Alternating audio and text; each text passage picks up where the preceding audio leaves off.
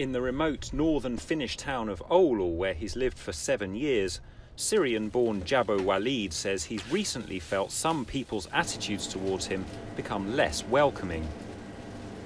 Waleed says this change came after police arrested nine people of immigrant background in the town last December over suspected sexual assaults of underage girls. The investigations, which are ongoing, dominated the Finnish media and sparked national outrage. My wife is Finnish. I have lots of Finnish friends, but if you walk alone in the streets or drive somewhere or go to a shop, then people really do look at you differently. I can honestly say it's not like before. Following news of the arrests, support for Finland's far right anti immigrant Finns Party, which has lain broadly level for three years, started to rise. On the eve of Finland's general election this weekend, polls now put the Finns as the country's third or second largest party. Until recently, immigration was not a top election issue. Yet many other main parties have now also called for tougher measures on migrant crime, fearful of losing their voters to the populists.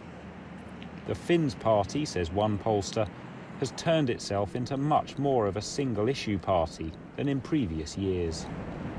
There was this uh, emphasis on being anti EU and also uh, also there, they had more social issues than, than maybe maybe now when the focus is more on, on immigration. In Oulu, where immigration was thrust into the political spotlight, many residents are unmoved by the Finns campaigning. The other big debates in this election have been healthcare, jobs, and climate change. Some people are scared of having wind power here, but for me, it's extremely important that we move to producing renewable energy. The Finns party has snatched a top three spot in the last two elections.